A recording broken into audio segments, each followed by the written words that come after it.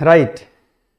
So, hello everyone. Once again, i welcome all of you in gateway classes. तो AKTU BTech first year के जितने भी students हैं, आप सभी के लिए आज हम स्टार्ट करने जा रहे हैं एक सब्जेक्ट जिसका नाम है फंडामेंटल्स ऑफ़ मैकेनिकल इंजीनियरिंग और इसका AKTU सब्जेक्ट कोड है BME 101 and B M E two zero one है ना? वन ज़ीरो वन रहेगा ऑड सेम के लिए, यानी कि फ़र्स्ट सेमेस्टर के लिए और सेकंड सेमेस्टर यानी कि इवेंट सेमेस्टर के लिए जो कोड रहने वाला है that is B M E two zero one and my dear students इस लेक्चर सीरीज़ को हम एक हफ़्ता पहले भी स्टार्ट कर सकते थे। बहुत सारे बच्चों के यूट्यूब में कमेंट्स आ रहे थे व्हाट्सएप पे मैसेज कर रहे थे कि, सर, जो नया सिलेबस आया है as per the new syllabus जल्दी से क्लासेस को स्टार्ट किया जाए। बट माई डियर स्टूडेंट्स एक हफ़्ते तक हम क्या कर रहे थे? अपने नोट्स को तैयार कर रहे थे। जो भी हमारा सिलेबस रिफॉर्म हुआ है अभी 2022-23 में बीटेक फ़र्स्ट ईयर के लिए। जो नोट्स हमारे पहले थे यू नो जहाँ जहाँ चेंजेस थे यू नो जिस भी यूनिट में चेंजेस थे, कहीं माइनर चेंजेस थे, कहीं मेजर चेंजेस थे, हमने पहले अपने नोट्स को क्या करा है? अपडेट किया है। है ना? नोट्स सबसे पहले क्या होने चाहिए? आपके एकदम बेहतरीन होने चाहिए एज पर द सिलेबस होने चाहिए। तो जितने भी हमारे नोट्स रहेंगे, जितने भी हमारे वीडियो लेक्चर्स रहेंगे, ये सब कुछ क्या रहने वाला है? As per the new syllabus 2022-23 के हिसाब से आपको सारी चीज़ें मिलने वाली हैं। ठीक है? तो जैसा कि मैंने प्रीवियस वीडियो में आपको यू नो डिटेल्ड सिलेबस के बारे में बताया था इस सब्जेक्ट का, और बोला था मैंने कि हम यूनिट नंबर टू से स्टार्ट करेंगे, और साथ में यूनिट नंबर वन को भी लेकर के चलेंगे, है ना? तो यूनिट नंबर टू का नाम है you know introduction to IC engine and electric vehicles IC engine और इलेक्ट्रिक व्हीकल्स के बारे में हम बात करेंगे। लाइक शेयर और सब्सक्राइब आप ऑलरेडी कर ही चुके होंगे। चलो जी तो ये है हमारा syllabus of unit number two ये यूनिट नंबर टू का सिलेबस है, जिसमें हम लोग देखने वाले हैं आज you know basic definition of IC engine तो ये पूरा सिलेबस मैं ऑलरेडी आपको प्रीवियस वीडियो में दिखाई चुका हूँ, है ना? तो सिलेबस आपके पास होना चाहिए क्योंकि बहुत सारे कॉलेजेस में क्या हुआ है कि पहले से क्लासेस चल रही हैं, है ना? एक महीने से क्लासेस चल रही है, डेढ़ महीने से क्लासेस चल रही हैं तो उन्होंने पुराने वाला सिलेबस अगर मोबाइल में डाउनलोड किया हुआ है तो उसको आप डिलीट कर दीजिए, है ना? अगर आपके पास गलत सिलेबस होगा तो दिक्कत हो जाएगी। एक्चुअली बहुत सारे बच्चे ऐसे होते हैं, वो टीचर्स के कॉन्टैक्ट में नहीं रहते हैं क्लासेस कम करते हैं तो उनको पता ही नहीं चलता है है ना? बहुत दिनों, कुछ दिनों के बाद पढ़ते पढ़ते पता लगेगा अच्छा ये तो सिलेबस ही चेंज हो गया। है ना? तो नया सिलेबस आपके पास होना चाहिए राइट चलो तो आज हमारा होने वाला है लेक्चर नंबर वन और लेक्चर नंबर वन में you know what is our today's target आज हमारा क्या टारगेट है? कौन से टॉपिक्स हम लोग कवर करने वाले हैं? सबसे पहले देखेंगे हम यू नो इंजन की डेफिनेशन इंजन को हम कैसे डिफाइन करते हैं? आपके सिलेबस में लिखा हुआ पहले उसके बाद देखेंगे कि इंजन की दो कौन सी मेन कैटेगरी होती है? उनको हम कैसे क्लासीफाई करते हैं? एक होता है आपका इंटरनल कंबशन इंजन और दूसरा होता है आपका एक्सटर्नल कंबशन इंजन जैसा कि आप यहाँ पे देख सकते हैं। इंटरनल कंबशन इंजन को हम शॉर्ट में लिखेंगे ICE that is you know internal combustion engine और एक्सटर्नल कंबशन इंजन क्या लिखेंगे हम लोग? ECE e e. उसके बाद देखेंगे differences between ICE and ECE और advantages and disadvantages of IC engine IC engine के क्या नुकसान फ़ायदे हैं as compare to you know external combustion engine चलो जी तो स्टार्ट किया जाए, आज की क्लास को स्टार्ट किया जाए और you know A K T U B tech first के जितने भी स्टूडेंट्स हैं, सभी को ये बात पता लग जानी चाहिए कि गेटवे क्लासेस में you know as per the new syllabus 2022-23 के हिसाब से क्लासेस स्टार्ट हो चुकी हैं। तो मैं आपसे उम्मीद करता हूँ, है ना, कि आप लोग अपने जो, आपके जो क्लासमेट्स हैं या आपके कॉलेज मेट्स हैं, या फिर दूसरे कॉलेज में जो आपके बैचमेट्स हैं, है ना? एकेटिव बीटेक फ़र्स्ट के जितने भी स्टूडेंट्स हैं, उनके साथ आप ये वीडियो ज़रूर शेयर करेंगे ताकि उनको भी पता लग सके। चलो जी तो इंजन की डेफिनेशन यहाँ पर हम देखेंगे। What is the definition of engine my dear students बहुत आसान तरीके से मैं आपको समझाने का प्रयास कर रहा हूँ कि भाई, आप अगर स्कूटी चला रहे हैं बाइक चला रहे हैं यू नो कार चला रहे हैं, या ट्रैक्टर चला रहे हैं आप लोग, है ना? अगर कोई गन्ना वन्ना डालते हो यू नो जो लोग किसान हैं तो आप एक बात बताओ, अगर वो इलेक्ट्रिक व्हीकल नहीं है इलेक्ट्रिक व्हीकल्स को हटा दीजिए तो या तो उसके अंदर डीजल इंजन लगा होगा, या पेट्रोल इंजन लगा होगा, है ना? तो डीजल एयर के साथ क्या होता है? बर्न होता है, बोलो यस और नो तो जब इंजन के अंदर, जब इंजन के अंदर फ्यूल क्या होता है? बर्न होता है है ना? फ्यूल की क्या होती है? बर्निंग होती है है ना? फ्यूल की क्या होती है बच्चों? बर्निंग होती है, समझना? फ्यूल जो है फ्यूल क्या होगा? फ्यूल बर्न होगा। बर्निंग होगी किसकी? फ्यूल की। तो जब फ्यूल की बर्निंग होगी जब फ्यूल की बर्निंग होगी let me change the colour जब फ्यूल की बर्निंग होगी तो फ्यूल की जो केमिकल एनर्जी होती है, फ्यूल की जो केमिकल एनर्जी होती है, वो थर्मल एनर्जी में कन्वर्ट हो जाती है, यानी कि हीट प्रोड्यूस होती है। जब आप फ्यूल, जब इंजन के अंदर फ्यूल जलता है, जब इंजन के अंदर फ्यूल जलता है, या इंजन के बाहर भी फ्यूल जलता है तो फ्यूल की केमिकल एनर्जी हीट में प्रोड्यूस होती है हीट निकलती है वहाँ से, उसको बोलते हैं थर्मल एनर्जी और ये थर्मल एनर्जी क्या होती है फर्दर कन्वर्ट होती है किसमें? मैकेनिकल एनर्जी में। है ना? किसमें? मैकेनिकल एनर्जी में। कौन करता है इस काम को? इंजन कौन करता है इस काम को? इंजन तो एक बात बताना आप मुझे। थर्मल एनर्जी एक एनर्जी की फॉर्म है। Mechanical energy is also form of energy यानी कि एनर्जी की एक फॉर्म दूसरी फॉर्म में कन्वर्ट हो रही है। कौन कर रहा है इस काम को? इंजन। तो इंजन एक ऐसी डिवाइस है जो एनर्जी की एक फॉर्म को दूसरी फॉर्म में कन्वर्ट करता है। जैसे केमिकल एनर्जी थर्मल एनर्जी में कन्वर्ट हुई और thermal energy further mechanical energy में कन्वर्ट हुई। आप चाहो तो मैकेनिकल एनर्जी का मतलब है जब कोई शाफ्ट रोटेट कर रही होती है धीरे धीरे आगे सारी चीज़ें समझ में आ जाएँगी। अगर कोई शाफ्ट रोटेट कर रही है, अगर कोई शाफ्ट रोटेट कर रही है, इसका मतलब मैकेनिकल एनर्जी मिल रही है। और इसी शाफ्ट से अगर आप जनरेटर लगा दें तो ये मैकेनिकल एनर्जी फर्दर आप चाहो तो इलेक्ट्रिकल एनर्जी में कन्वर्ट कर सकते हो इलेक्ट्रिसिटी प्रोड्यूस कर सकते हो। तो देखो क्या लिखा हुआ है इंजन की definition it is a device which converts one form of energy into another form of useful energy energy की एक फॉर्म को दूसरी फॉर्म में कन्वर्ट करती है एक डिवाइस जिसका नाम है इंजन है ना? अगर हम क्लासिफिकेशन की बात करें, अगर हम बात करें कि इंजन की दो कौन सी मेन कैटेगरी होती है तो कंबस्शन के बेसिस पे हम दो कैटेगरी में क्लासिफाई कर सकते हैं, है ना? बेस्ड ऑन कंबस्शन देखो बेस्ड ऑन कंबस्शन कंबस्शन के बेसिस पे engine are classified into internal combustion engine that is IC engine and external combustion engine that is EC engine. And my dear students video lecture को आगे you know further proceed करने से पहले मैं आपको बता देता हूँ कि ये जो नोट्स हैं इस सब्जेक्ट के जो नोट्स हैं मैकेनिकल के जो नोट्स हैं या इसके अलावा और भी कई सारे सब्जेक्ट जो है स्टार्ट होने वाले हैं धीरे धीरे करके है ना? सभी के नोट्स आपको मिलेंगे get you know gateway classes app के अंदर। सो so, अभी तक अगर आपने गेटवे क्लासेस का ऐप डाउनलोड नहीं किया है तो गूगल प्ले स्टोर पर जाइए और सर्च कीजिए गेटवे क्लासेस या नीचे डिस्क्रिप्शन में कमेंट बॉक्स में आपको ऐप का लिंक मिल जाएगा। यू नो लिंक के माध्यम से भी आप यू नो गेटवे क्लासेस का ऐप डाउनलोड कर सकते हैं फ्रॉम गूगल प्ले स्टोर दूसरी चीज़, यहाँ पर जो हम नोट्स आपको प्रोवाइड करा रहे हैं ना, इस, इन जितने भी सब्जेक्ट्स हैं हमारे, हम चाहते तो बहुत पहले क्लासेस स्टार्ट कर सकते थे, लेकिन हमने क्या किया है सिलेबस के हिसाब से नोट्स को अपडेट किया है। क्योंकि नोट्स जो है ना, वो आपके ऐसे होने चाहिए। एक्चुअली हर चीज़ तो आपको भाई, एक बात बताओ बुक में तो हर चीज़ है। बुक में हर चीज़ है यस और नो इंटरनेट पे हर चीज़ है। टीचर का काम होता है कि जो कंटेंट है सिलेबस के हिसाब से बनाए और उसको इतना सिंप्लीफाई करें, उसको याद करना आसान हो जाए। है ना, कि बच्चे एक बार उसको रीड करें एग्ज़ाम से पहले तो वो याद हो जाए और एग्ज़ाम तक याद रहे, है ना। इस तरह से बनाया जाए, उसके अंदर कुछ इस तरह के डायग्राम सिंपल सिंपल से ब्लॉक डायग्राम लाइन डायग्राम इस तरह से बनाया जाए उसको कि बच्चे को याद हो जाए, दिमाग में रिटेन हो पाए और जाकर के एग्ज़ाम में उसको वो लिख पाए। ठीक है जी? तो उस तरह की हमने यहाँ पर कोशिश करी है है ना। कई लोगों ने मिलकर ये नोट्स आपके तैयार करे हैं। चलो जी तो अब हम डिफाइन करेंगे क्या? इंटरनल कंबशन इंजन यहाँ पर एक एनिमेशन मैं आपको दिखाऊँगा। इस एनिमेशन के, बस इस एनिमेशन को दिमाग में डाल लेना। इसी एनिमेशन से आपको बहुत सारी चीज़ें समझ में आने वाली हैं। देखो इंटरनल कंबशन इंजन नाम से पता लग रहा है है ना? इस एनिमेशन को जरा आप एक बार देखेंगे। इस एनिमेशन को आप देखेंगे।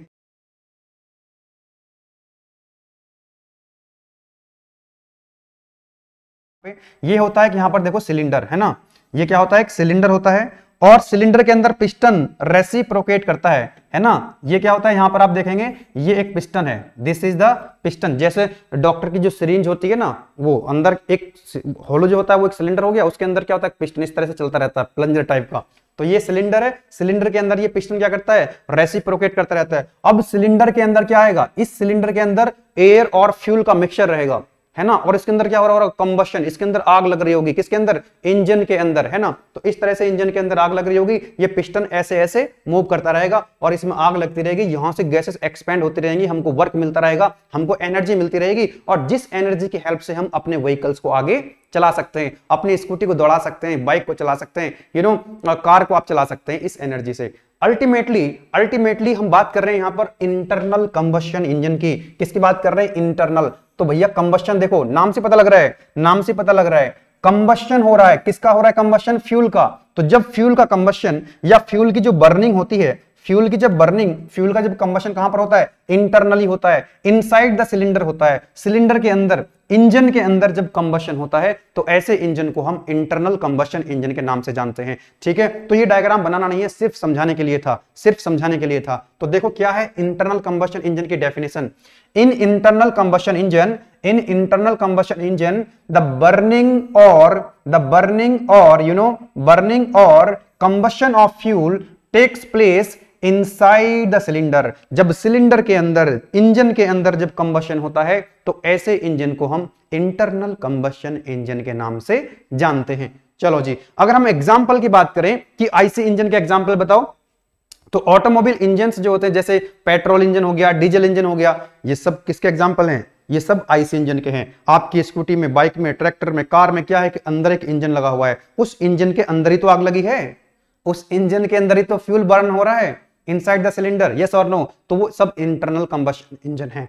चलो जी नेक्स्ट देखते हैं यहाँ पर external combustion engine external combustion engine कुछ खास नहीं है, लेकिन इसको पढ़ना इसलिए ज़रूरी है क्योंकि हम IC engine you know internal combustion engine को डिफ्रेंशिएट करना है डिफरेंस देखना है। और आईसी इंजन के एडवांटेज डिसएडवांटेज आपको तभी समझ में आएँगे जब इसके बारे में एक मिनट हम चर्चा करेंगे। इसके बारे में एक मिनट चर्चा करते हैं, तभी जाकर के हमारा जो है आईसी इंजन के डिफरेंस इसके साथ और आई से इंजन के एडवांटेजेस डिसएडवांटेजेस आपको इजीली समझ में आने वाले हैं। कोई दिक्कत नहीं होगी, आपके दिमाग में सारी चीज़ें स्टोर हो जाएँगी। चलो जी, देखो, नाम से पता लग रहा है यहाँ पर भी। ये है क्या आपका एक्सटर्नल कंबशन इंजन भाई, जब इंजन के अंदर inside the cylinder inside the engine combustion हो रहा था तो उसको बोल रहे थे इंटरनल कंबशन इंजन जब इंजन के बाहर आउटसाइड द इंजन क्या होगा? कंबशन होगा तो क्या बोलोगे उसको? External combustion engine in external combustion engine the combustion of the fuel takes place outside the engine engine के बाहर हो रहा है कंबशन तो एक्सटर्नल कंबशन इंजन है। इसके एग्जांपल है यहाँ पर you know steam engine closed gas turbine steam power plant तो इस डायग्राम को एक बार फोकस करो। इस डायग्राम को एक बार फोकस करो तो समझ में आएगा आपको कि कंबशन आउटसाइड हो रहा है। कंबशन आउटसाइड हो रहा है। बेसिकली ये स्टीम पावर प्लांट का एक डायग्राम है। किसका डायग्राम है ये? स्टीम पावर प्लांट ये स्टीम पावर प्लांट क्या होता है? और ये स्टीम पावर प्लांट बहुत बड़ी चीज़ होती है। मतलब स्टीम की हेल्प से जहाँ पर इलेक्ट्रिसिटी प्रोड्यूस हो रही होती है है ना? स्टीम बनती है स्टीम बनती है टरबाइन के ऊपर जाती है टरबाइन के ब्लेड्स घूमती हैं, वहाँ पर एक जनरेटर लगी रहती है यू नो इलेक्ट्रिसिटी बनती है, फिर वो स्टीम कंडेंसर में जाती है कंडेंस हो जाती है यू नो स्टीम फिर से लिक्विड में कन्वर्ट हो जाती है, फिर पंप उसको जो है बॉयलर के अंदर भेज देता है बॉयलर वाटर को स्टीम में कन्वर्ट कर देता है, ऐसा करके कुछ होता है है ना? तो इस काम को करने के लिए इस पूरे प्लांट में चार कंपोनेंट होते हैं। There are four basic components देखो यहाँ पे जरा, ये है बॉयलर यहाँ पर देखो लिखा हुआ है क्या बॉयलर ये है बॉयलर ओके तो बॉयलर का काम क्या होता है? बॉयलर का काम क्या होता है? है ना? बॉयलर काम होता है कि इसके अंदर क्या जाने वाला है? इसके अंदर जाने वाला है वाटर इसके अंदर क्या जाएगा? वाटर जाएगा। बोलो यस और नो इसके अंदर क्या जाएगा? वाटर जाएगा। जैसे प्रेशर कुकर होता है। प्रेशर कुकर में आपने पानी भर दिया अब उस पानी की क्या बन जाएगी? स्टीम बन जाएगी, भाप बन जाएगी वेपर बन जाएगी, लेकिन उसको हीट सप्लाई करनी पड़ेगी। बोलो यस और नो प्रेशर कुकर में पानी रखो। अपने आप थोड़ी ना भाप बन जाएगी उसकी। अपने आप थोड़ी ना स्टीम बन जाएगी। यस और नो उसको हीट सप्लाई करनी पड़ेगी, चूल्हा चलाना पड़ेगा। तो ऐसे ही क्या करना है? तो बॉयलर भी क्या है? स्टीम जनरेटर है। ये भी क्या बनाता है? स्टीम बनाता है। इसके अंदर क्या जाएगा? वाटर और बाहर क्या निकलेगी यहाँ से? स्टीम बाहर निकलती है। क्या निकलती है बाहर? स्टीम बाहर निकलती है। तो भाई, ये बॉयलर क्या करेगा? बॉयलर क्या करेगा? वाटर को स्टीम में कन्वर्ट करेगा। लेकिन इसको हीट चाहिए कि नहीं चाहिए? जैसे प्रेशर कुकर में हीट सप्लाई करते हो। यस अब वो हीट कहाँ से आएगी? वो हीट कहाँ से आएगी? देखो, यहाँ पर एक लगी रहती है फर्नेस क्या लगी रहती है यहाँ पर एक? फर्नेस फर्नेस के अंदर क्या होता है? फ्यूल फर्नेस के अंदर फ्यूल की क्या होती है? बर्निंग होती है एयर के साथ। यस और नो फ्यूल की क्या होती है यहाँ पर? बर्निंग होती है, बर्निंग ऑफ़ फ्यूल। यहाँ पर फ्यूल की बर्निंग होगी तो क्या मिलेगी यहाँ से? एनर्जी मिलेगी यस और नो कौन सी? फ्यूल की केमिकल एनर्जी किसमें? थर्मल एनर्जी में। अरे हीट प्रोड्यूस होगी ना? यहाँ से जब फ्यूल की बर्निंग होगी तो हीट प्रोड्यूस होगी और ये हीट कहाँ जाएगी? ये हीट कहाँ जाएगी? बॉयलर के अंदर जाएगी। तो अब एक बात बताना मुझे। ये हमारा सिस्टम है। ये हमारा सिस्टम है। दिस इज़ अवर सिस्टम आग कहाँ लगी है? ये इंजन तो हमारा ये है ना, ये हमारा इंजन है, ये इंजन है। आग लगी है फर्नेस में, और फर्नेस कहाँ पे है? इंजन के बाहर आउटसाइड द इंजन तो वही तो हम कह रहे हैं कि भाई जब कंबशन फ्यूल का कंबशन जब इंजन के बाहर होता है तो ऐसे इंजन को हम एक्सटर्नल कंबशन इंजन कहते हैं। पहले वाले केस में क्या था? इंटरनल कंबशन इंजन में आग इंजन के अंदर लगी थी कंबशन इंजन के अंदर हो रहा था। यहाँ पर आग बाहर लगी है। आग बाहर लगी है, इंजन के बाहर। इसीलिए क्या बोल रहे हैं इसको? एक्सटर्नल कंबशन इंजन बोल रहे हैं। अब high pressure high temperature steam कहाँ ले जाओगे? हाई टेम्परेचर हाई प्रेशर की। हाई टेम्परेचर हाई प्रेशर की स्टीम निकलेगी बॉयलर से। और ये जाएगी टर्बाइन के अंदर। टर्बाइन क्या करेगा? टर्बाइन की टर्बाइन क्या होगा? इस तरह से टरबाइन की एक शाफ्ट होती है, वहाँ पर लगे रहते हैं बहुत सारे टरबाइन के ब्लेड्स। वहाँ जाकर ये स्टीम टकराएगी, टरबाइन की शाफ्ट रोटेट करेगी, टरबाइन रोटेट करना स्टार्ट करेगी और यहाँ से मिल जाएगी आपको मैकेनिकल एनर्जी, यानी कि आपको यहाँ से वर्क मिल जाएगा और इस मैकेनिकल एनर्जी को फर्दर आप इलेक्ट्रिकल एनर्जी में कन्वर्ट कर पाओगे with the help of generator, आपका काम बन जाएगा। अब स्टीम से आपने एनर्जी ले ली, अब यहाँ से टर्बाइन से निकलेगी स्टीम स्टीम ही निकलेगी टर्बाइन से, लेकिन उसका प्रेशर डाउन हो चुका होगा, उसका टेम्परेचर डाउन हो चुका होगा लो प्रेशर लो टेम्परेचर की स्टीम कंडेंसर में जाएगी। कंडेंसर में हीट रिजेक्ट हो जाएगी। स्टीम से हीट जब बाहर जाएगी तो ये स्टीम फिर से लिक्विड में कन्वर्ट हो जाएगी। है ना? कंडेंस हो जाएगी। कंडेंस हो जाएगी किसके अंदर? कंडेंसर के अंदर। अब ये लिक्विड क्या, इस लिक्विड कहाँ जाएगा? ये पंप लगा हुआ है यहाँ पे। ये पंप इस लिक्विड को फिर से वाटर को, इस वाटर को, इस वाटर को फिर से बॉयलर में जो है सेंड करेगा। कौन? फ़ीड करेगा, पंप, यहाँ पर फ़ीड पंप लगा हुआ है। इसी तरह से यहाँ पर स्टीम वाटर स्टीम वाटर चलता रहेगा। एंड माय डियर स्टूडेंट्स ये जो आप डायग्राम देख रहे हैं, ये प्लांट बहुत बड़ा होता है। ये प्लांट बहुत बड़ा होता है। आप जिस भी कॉलेज में पढ़ रहे हैं, कितना भी बड़ा कैंपस हो, ऐसे बहुत सारे कैंपस लग जाएँगे स्टीम पावर प्लांट को बनाने के लिए। बहुत बड़े बड़े टर्बाइन होते हैं। बहुत बड़े बड़े आपके यू नो बॉयलर्स होते हैं। बहुत बड़े बड़े है ना? अब हमको ये बात समझ में आ जाएगी कि आईसी इंजन और एक्सटर्नल कंबशन इंजन में क्या डिफरेंस होता है? अब कोई दिक्कत वाली बात नहीं है, अब मैंने काम आपका आसान कर दिया है है ना? तो भाई जब आप आईसी इंजन तो छोटू सा होता है, बोलो सर नो आईसी इंजन क्या होता है? बहुत छोटू सा होता है। भाई एक बात बताओ, आपकी स्कूटी में, आपकी स्कूटी में जो इंजन लगा है इतू सा इंजन लगा हुआ है इंजन में। किसमें स्कूटी में बाइक में इतू इतू सा इंजन होते हैं। और ये इंजन कितना होता है? यू नो बहुत बड़ा बहुत बड़ा यू नो सौ बीघे, दो सौ बीघे, तीन सौ बीघे इतने बीघे में जाकर के, है ना? पूरे यू नो इतना बड़ा प्लांट होता है, उसमें दो तीन गाँव बस जाते हैं। ठीक है जी? तो बहुत बड़े बड़े कंपोनेंट्स होते हैं, बहुत बड़े बड़े कंपोनेंट्स होते हैं इसके अंदर। किसके अंदर? एक्सटर्नल कंबशन इंजन के अंदर। ये है एक्सटर्नल कंबशन इंजन ये था इंटरनल कंबस्टन इंजन चलो, अब इसमें देखते हैं डिफरेंसेस अब कोई दिक्कत नहीं है, मैंने अपना काम कर दिया, अब आपको इजिली समझ में आएगा। तो ईसी इंजन भाई सिलेबस में लिखा हुआ है इनका डिफरेंस दोनों का। तो ईसी इंजन यानी कि इधर मैंने लिखा एक्सटर्नल कंबशन इंजन और इधर लिखा मैंने आईसी इंजन एक चीज़ और याद रखना, जब भी डिफरेंस आते हैं लिखने के लिए, कोशिश करना कि उसको टेबल की फॉर्म में लिखो। तो कन्वीनियंस हो जाता है यू नो कन्वीनियंट रहता है। जो एग्जामिनर आपकी कॉपी चेक करता है, उसको जितनी कन्वीनियंस जितना कन्वीनियंस आप प्रोवाइड कराओगे, जितना अच्छा आपका वे ऑफ़ रिप्रेजेंटेशन होगा, उतने अच्छे आपको मार्क्स मिलेंगे। ठीक है? कोशिश करना, अगर कोई डिफरेंस है तो उसको टेबल की फॉर्म में लिखना, अच्छे से लिखना। ठीक है जी? अच्छे नंबर मिलेंगे आपको। देखो, इधर हमने इस कॉलम में लिखा EC that is external combustion engine इधर लिखा हमने आईसी इंजन यानी कि इंटरनल कंबशन इंजन देखो, पहला डिफरेंस क्या है कि combustion of fuel takes place outside the engine कोई डाउट यस और नो आउटसाइड होता है कि नहीं? तभी तो उसको बोलते हैं एक्सटर्नल कंबशन इंजन इसमें क्या होता है? फ्यूल कंबशन इनसाइड होता है। नेक्स्ट ये बल्कि होता है। अरे, बल्कि क्यों होता है भाई? ये बल्कि क्यों होता है? क्योंकि इसमें बहुत सारे ऑक्जलरी ऑपरेटर्स होते हैं बड़े बड़े बॉयलर हैं टर्बाइन है तो ये बहुत ज़्यादा बल्कि हो जाता है। ये बहुत ज़्यादा बल्कि हो जाता है, जबकि ये लाइट होता है और कॉम्पैक्ट होता है है ना? ये लाइट होता है और कॉम्पैक्ट होता है क्या? आईसी इंजन है ना? Next high ratio of weight to power weight to power ratio इसका हाई होता है। मतलब W वेट अपॉन पावर मतलब यूनिट पावर अगर आपको प्रोड्यूस करनी है यूनिट पावर प्रोड्यूस करनी है तो इसका वेट ज़्यादा रहेगा, इसका वेट कम रहेगा। मान लो वन मेगावाट आपको इलेक्ट्रिसिटी प्रोड्यूस करनी है वन मेगावाट तो इसका वेट काफ़ी ज़्यादा हो जाएगा, इसका वेट कम रहेगा, है ना? तो इसका high ratio of weight to power रहता है। नेक्स्ट डिफरेंस है in in you know it can use cheaper fuels including solid fuels अरे एक्सटर्नल कंबशन इंजन में एक्सटर्नल कंबशन इंजन में। कंबशन तो बाहर हो रहा है। यहाँ पर कोयला जलाओ, डीजल जलाओ, कोई दिक्कत नहीं। सॉलिड फॉर्म में हो आपका फ्यूल, लिक्विड फॉर्म में डजन मैटर। जबकि आपका जो आईसी इंजन होता है, ऐसे वाला जो इंजन होता है, इसमें तो आप सिर्फ़ गैसेस स्टेट में होता है, फ्लूइड आपका जो फ्यूल होता है, या फिर वो लिक्विड स्टेट में होता है। जैसे पेट्रोल हुआ, डीजल हुआ, या फिर कोई सीएनजी हुई एलपीजी हुई। यहाँ पर ऐसा थोड़ी ना कि इसमें आप कोयला भर दोगे। स्कूटी के इंजन में बाइक के इंजन में कोयला जला दोगे? नहीं जला सकते ना क्योंकि इसमें कंबशन इनसाइड द इंजन हो रहा है। जबकि इसमें कंबशन बाहर होता है फर्नेस में भट्टी लगी है बाहर एक यहाँ पर आग लगी है तो वहाँ पर तो कुछ भी डाल दो उसमें कुछ भी कूड़ा कवाड़ा लकड़ी आ, सब कुछ डाल दो उसके अंदर है ना? कोई दिक्कत नहीं है। चलो तो इसलिए लिखा है यहाँ पर कि जो एक्सटर्नल कंबशन इंजन होता है उसमें चीपर फ्यूल हम यूज़ कर सकते हैं इंक्लूडिंग सॉलिड फ्यूल कोयला भी जला सकते हो। जबकि इसमें हाई ग्रेड का फ्यूल यूज़ होता है। इसमें हाई ग्रेड का फ्यूल यूज़ होता है। High requirement of water for dissipation of heat heat को डिसिपेट करने के लिए यहाँ पर रिक्वायरमेंट वाटर की ज़्यादा होती है, जबकि यहाँ पर लेसर रिक्वायरमेंट ऑफ़ वाटर होता है। नेक्स्ट इसकी एफिशिएंसी कम होती है 15 टू 20 परसेंट होती है। किसकी?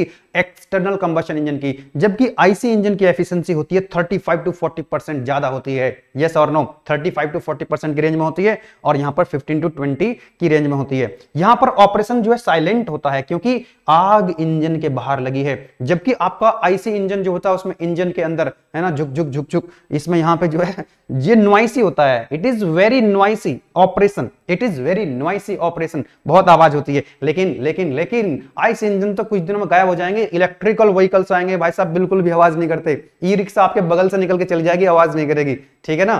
तो वो टाइम आने वाला है। आ चुका है। यू नो बहुत बहुत ज़्यादा आप देख रहे हैं। Electric vehicles two two wheelers में तो पता नहीं कितने स्कूटर मार्केट के अंदर आ गए हैं। फोर व्हीलर में भी, जैसे टाटा की नेक्सॉन है, काफ़ी धमाल मचाया हुआ है। चलो जी।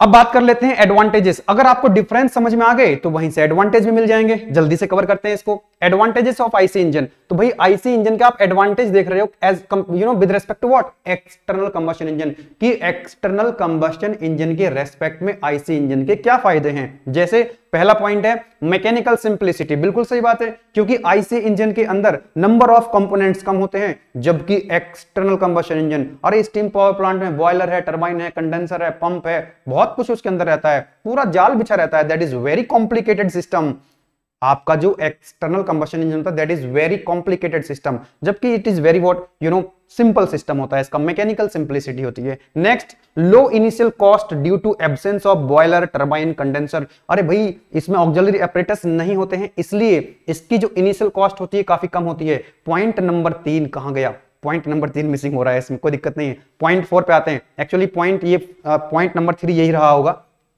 है ना? तो ये स्लाइड में इधर उधर हो गया मामला।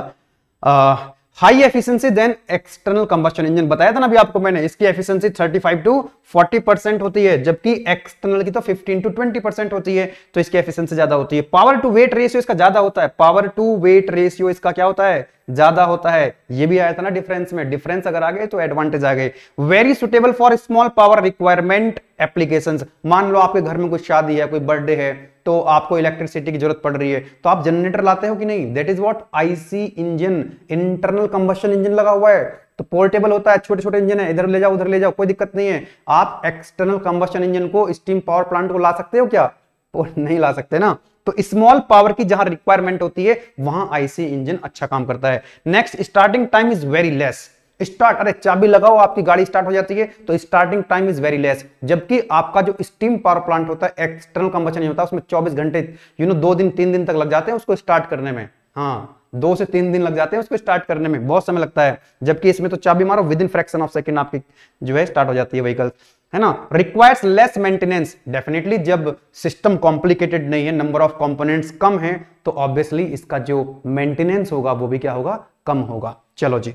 आपको मैं एक बंदा है, हमारे पास दो तीन बंदे हैं जो पब्लिक सेक्टर में सेलेक्ट हुए थे ओ और आई में काम कर रहे हैं ना, उनसे हम आपका जब इंटरव्यू होगा, उनसे इंटरेक्ट करेंगे तो आपको उसके बारे में यू नो प्रैक्टिकल जानकारी मिलेगी बहुत सारी। ठीक है ना? स्टीम पावर प्लांट के अंदर। बहुत, अभी आया था दीपावली पे यू नो दो बच्चे आए थे, एक आई में, एक ओ में। यू नो मिलकर काफ़ी अच्छा लगा उनसे। बहुत यू नो ऐसी ऐसी बातें बताई जो हम थियोरेटिकली पढ़ते हैं। उनको उन्होंने फ़ोटो वगैरह दिखाया, उसमें मतलब वीडियो वगैरह थी उनके पास, कुछ मतलब देख के एकदम मज़ा आ गया। प्रैक्टिकली किस तरह से इलेक्ट्रिसिटी प्रोड्यूस हो रही होती है वास्तव में। ठीक है? चलो जी। लास्ट में देखेंगे इसके disadvantages of IC engine IC engine के डिसएडवांटेज क्या है? कि variety of fuel that can be used is limited to variety of you know limited to very fine quality gases और लिक्विड स्टेट इसमें आप कोयला नहीं जला सकते। और जो आपका स्टीम पावर प्लांट है, उसमें कोयला भी जला लो, कोई दिक्कत वाली बात नहीं। तो that is one of the limitation of IC engine fuel use is very costly इसका जो फ्यूल होता है, वो काफ़ी कॉस्टली होता है। यानी कि लाइक डीजल पेट्रोल कितने महँगे महँगे फ्यूल हैं, है ना? नेक्स्ट आपका engine emission are generally high इसका जो इंजन से एमिशन होता है इंजन से जो एमिशन होता है, वो एक्सटर्नल के कंपैरिजन में थोड़ा ज़्यादा होता है। ठीक है? लेकिन इलेक्ट्रिक व्हीकल्स आ रहे हैं इसका रिप्लेसमेंट इसी का जो एमिशन बहुत ज़्यादा हो रहा है, दिल्ली में इवन और चलाना पड़ता है। उस, उसके बाद भी पॉल्यूशन कहीं कंट्रोल हो रहा है? एमिशन कंट्रोल ही नहीं हो रहा है है ना? तो धीरे धीरे सब गायब होने वाले हैं। है ना? सब गायब होने वाले हैं। तो ये एमिशन की कहानी भी खत्म हो जाएगी जब इलेक्ट्रिक व्हीकल्स आ जाएँगे। Right not suitable for large scale power generation अब मान लो आपको बहुत ज़्यादा पावर मान लो पूरे शहर को एक इलेक्ट्रिसिटी प्रोवाइड करानी है तो क्या आप जनरेटर से काम चला सकते हैं? जो अपनी शादी विवाह में या फिर आपके बर्थडे में आ जाता है जनरेटर वो काम कर देता है आपका। क्या किसी, अगर मान लो पूरे शहर को, पूरी पूरे ज़िले को, पूरे पूरे यू नो स्टेट को अगर आपने पावर सप्लाई करनी है तो क्या जनरेटर काम करेगा? नहीं करेगा। तो आईसी इंजन वहाँ पर काम नहीं करते। तो जब लार्ज पावर लार्ज स्केल पर पावर की रिक्वायरमेंट होती है तो these are not suitable next last one in case of reciprocating internal combustion engine noise is generated due to detonation एक डिटोनेशन फिनोमिना होता है, उसके अंदर, आ यू नो जहाँ पर अंदर जब कंबशन होता है तो बहुत ज़्यादा वो नॉइस प्रोड्यूस करता है। सो so, दीज तो आज के लेक्चर में हम लोगों ने सीखा है कि इंजन को हम कैसे डिफाइन करते हैं और इंजन की दो कौन कौन सी मेन कैटेगरी होती हैं। यू नो कंबशन के बेसिस पे हमने देखा कि एक इंटरनल कंबशन इंजन होता है फिर एक्सटर्नल कंबशन इंजन होता है। हमने एनिमेशन के साथ समझने का प्रयास किया कि दोनों में डिफरेंस दोनों की डेफिनेशन क्या है फिर दोनों में डिफरेंस क्या होते हैं। फिर हमने एडवांटेज एंड डिसएडवांटेज देखे किसके? आईसी इंजन के। इसमें से यू नो लास्ट टाइम भी एकेटिव एकेटिव एग्ज़ाम में दो तीन क्वेश्चन यहाँ से छोटे छोटे पूछे गए थे। तो नेक्स्ट वीडियो लेक्चर में हम लोग क्या डिस्कस करने वाले हैं?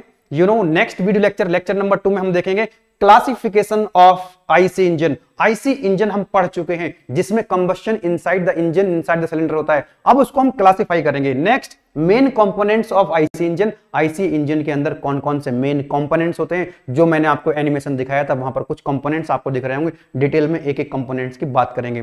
TDC and BDC top dead centre bottom dead centre एक एक आया हुआ है। बोर क्या होता है? स्वेप्ट वॉल्यूम क्लियरेंस वॉल्यूम क्या होता है? और कंप्रेशन रेशियो क्या होता है? ये भी आया हुआ है। है ना? तो ये next video lecture lecture number two में ये हम लोग डिस्कस करने वाले हैं। एक बार फिर से मैं बता देता हूँ आपको, जितने भी हमारे नोट्स हैं, चाहे वो मैकेनिकल के नोट्स हो या किसी और सब्जेक्ट के नोट्स जो स्टार्ट होने वाले हैं, सभी नोट्स आपको मिल रहे होंगे गेटवे क्लासेस ऐप के अंदर। तो मैं एक बार फिर से बोल रहा हूँ आपको प्ले स्टोर पर जाइए सर्च कीजिए गेटवे क्लासेस अगर अभी तक आपने डाउनलोड नहीं किया है तो गेटवे क्लासेस का ऐप आप डाउनलोड कर लीजिए।